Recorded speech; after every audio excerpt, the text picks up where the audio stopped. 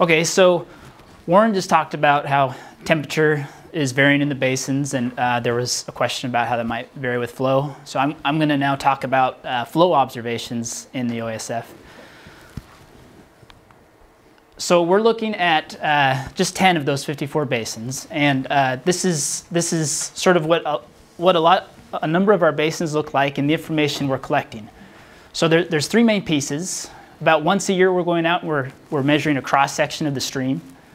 Uh, five or six times a year, we're physically going out and measuring flow, and then also checking the elevation of the water on a staff gauge. And then throughout the year, we have a sensor that's underwater that's continuously measuring the depth of the water. With this information, uh, our goal is to establish a rating curve, which is just an empirical relation between the depth of the water and flow. Um, so here is a rating curve for basin 554. And typically when you establish a rating curve, it's, uh, it's either visually fit or maybe using some, some sort of mathematical method. You, you fit a power function to your observed flow and flow depth. Uh, it has three coefficients. You just vary the coefficients until you, you minimize the difference between the, the, the rating and your observations. You'll notice that with our observations, most of them are down here in the lower flows, which is you know, more like this or maybe a little higher. It's, it's really hard to be out there for these types of flows. This was on the, the Clearwater River, this was a 1.3 year event. So we were pretty lucky to be out there and see that one. Now the purpose of doing all this is simply to characterize the flow conditions in the OESF. And then maybe in the future, uh, we can do things like relate flow to, to temperature. Uh, but in general, we just want to know how much of the year is the stream like this versus like this. We're not the only ones to be doing this, uh, uh, especially down in Oregon uh, at the H.J. Andrews. Uh, they've been doing very carefully well-designed experiments aimed at evaluating how forestry or how tree farms affect stream flow. Their, uh, their experiments are set up so they're using paired basins. They're adjacent to each other. One is, was completely harvested right down to the stream, the other untouched. And then at the, the outlets of their streams, they have these uh, carefully designed weirs where their power equation, with ours we have those three coefficients we're trying to determine, theirs are known. These have been determined in laboratory experiments uh, by engineers. So they know exactly how the water's changing, or not exactly, but, but much more precisely than we do, how the water's changing in response to these different uh, vegetation scenarios in the basin. So this is our weir. It's, it has rolling gravels. Um, you know, the width is hard to define. There's our staff gauge. We go out there a couple times a year and measure flow. But we're not, we're not making up this method. There are established protocols for how you estimate flow from uh, using this type of method. The USGS provides methods. Uh, unfortunately, their methods really are designed for the channels that they're monitoring. They're, they're generally putting their gauges in sort of stable channels, big channels that aren't moving like ours. We've got all those moving gravels. And they, for their methods, they typically require about 10 measurements per year. We're only getting about five or six. So their methods really aren't suitable for our small mobile streams we're not able to get out there quite as much. Fortunately, in uh, the last four or five years, really about since this program was started, there's been major improvements for methods for estimating flow using a gauge uh, by this research group in France, uh, the National Research Institute of Science and Technology for Environment and Agriculture. This research group there um, is developing a, or has developed a method, and they provide uh, uh, software online that you can use that one incorporates your flow observations, and two incorporates uh, known coefficient values for different weir structures. It provides a framework for at different levels of flow uh, which weir structure to use. So here's an example of how it works. At low flow, your stream may be down in this small or narrow section of the channel. Uh, at, that, at that height, that uh, the geometry is similar to a weir. The weir, the, the coefficients for that power equation are known, so we can we first start with this equation for estimating flow. At high flow, the maybe the, the cobbles that are forming this weir-like structure get overpowered by the flow. The surface of the water becomes parallel to the bed surface, and now we're into more of a power function like this. Again, we have coefficients to start with, so we have a way for estimating flow. So what's that look, look like in our, in our channels? Here we are in more of a low flow where these uh, boulders and cobbles are they're creating a flat pool here. And then you have a, a little fall here, so we can, use, we can use our section control. Once the stage or the depth of that water gets higher, our water surface is parallel to the bed and we start using this equation. So this, using this method, without even taking any measurements, we have a way to estimate a rating curve, a relation between the depth of the water and the flow. And because civil engineers, they've been through experiments establishing the coefficients for all those different structures so they can design ditches and dams, we have all sorts of different geometries that we can use to define our channels and begin with known coefficients. So we have our prior estimate of the rating curve from the weir structures, then we incorporate our flow observations, and we get our posterior estimate for our rating curve. So despite having a limited number of observations, uh, we're able to incorporate prior information to improve our estimate of that uh, water depth and flow uh, relation. But that doesn't, that doesn't solve our second problem. We've got mobile channels. So we've, we've figured out a way to establish a more reliable rating curve, but we still have channels that are moving. So when do we need to establish the new rating curves? Uh, typically, that channel you just saw there, that this basin we had to abandon because the, there, there was too much channel change. Most of our basins are, are like this, where they're grading 5 to 15 centimeters. And we've come up, come up with three different methods for determining when we need new rating curves. One is simply those surveys, that picture on the, the, the second slide. Every year we're going out, we're measuring the same cross section over, so we get at least on an annual resolution, we we have an idea of when the channel geometry is changing.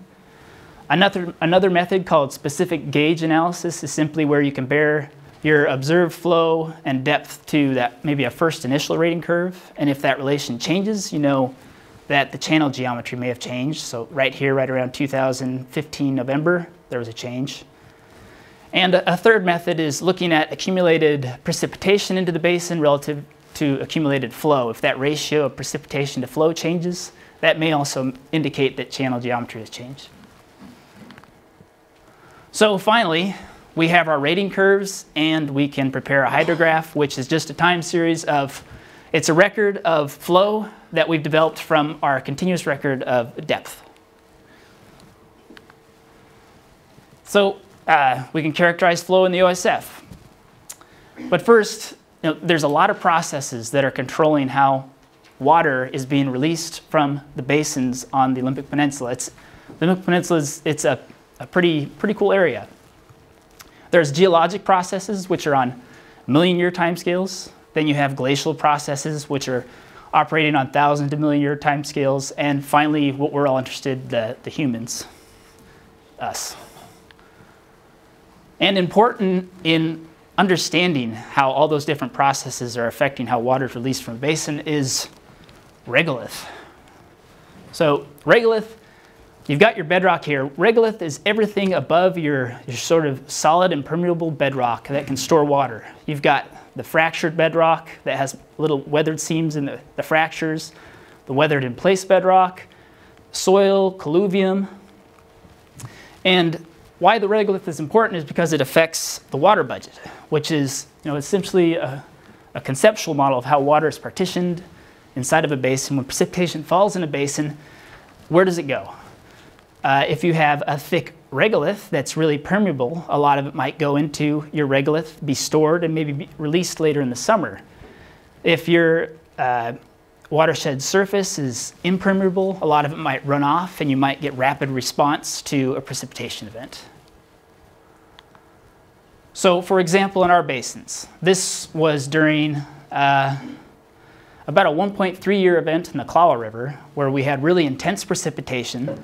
So that precipitation was exceeding the infiltration capacity of that soil, and we had a lot of quick flow responses active in the basin. We've got shallow water flow, maybe even flow on the surface that's causing the stream to react immediately to that precipitation. And then in these situations, which is normally what we see when we go out in the field, uh, you don't have the quick flow processes active, you have more of that base flow. Uh, the water that's been stored in the regolith is slowly flowing down and being released into the stream. So now, uh, we have an understanding, I guess, of how regolith is affecting the water budget, so we'll get back to the processes. This is a molehill. It's in my backyard. It kind of works as an analogy for the Olympic Peninsula and the geology in the peninsula. so the molehill was there in the morning. Uh, something, a mole, worked to uplift the, the earth or the soil underneath the grass. It maybe lifted up a little bit of grass, but then also uh, created a mound of the material that the mole was pushing up. I came along with my shovel. I eroded the molehill and exposed one, the process that caused the uplift, the mole. There was a bunch of loose dirt there, but then you also had the grass around, which has the roots of the grass and was stronger. So, in much the same way, the Olympic Peninsula is being uplifted, except instead of a mole, we have sediments that have accumulated on top of the uh, Juan Fuca plate.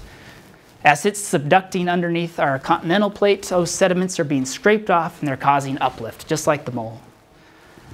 Instead of a giant shovel, we've got glaciers, landslides. Those have caused erosion, and just like our molehill, have removed the mound, exposing the process or the area that caused the uplift. In this case, there isn't a giant molehole. It's those, those weak sediments that were barely lithified when they were, or barely turned into rock when they were uplifted, but they're exposed in the center. And then on the outside, which would be our grass and the molehill, you have the crescent terrane, which has a lot of basalt. It's, it's harder rock. So what does that mean for our water balance or for our water budget? Regolith here, because it's this weaker rock, may be thicker. The, the rock has been weathered a little deeper maybe. And here in this harder rock, regolith might be thinner. Okay, so where are basins relative to that weak rock and the hard rock? We, most of our weak rock is here in the middle, in the Olympic subduction complex. And then we've got several basins right here on the edge of the molehill in the harder rock. Now on top of the, the glaciers, we have continental and alpine, or on top of the geology, we have, we have glaciers. So down here I have a plot of sea level. This is for the last 2 million years. You can see about every 50 to 100,000 years it's going up and down, up and down, up and down. We're right here. Sea level is high. When sea level is high, there's little ice.